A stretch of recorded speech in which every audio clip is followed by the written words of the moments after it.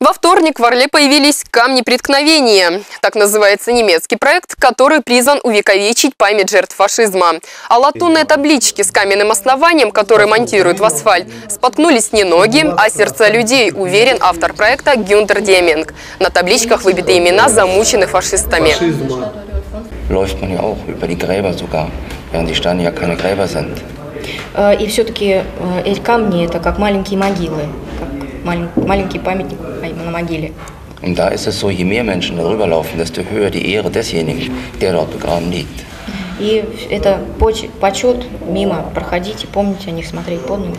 Идея проекта родилась в 90-е годы. И с тех пор создано более 40 тысяч мемориальных камней. Они разлетелись по улицам Германии, Австрии и еще 10 европейских стран. Орел стал первым российским городом-участником проекта. Сегодня установлены 4 таблички с именами орловчан. На улице Курская, на территории детской областной больницы и в поселке Кромы.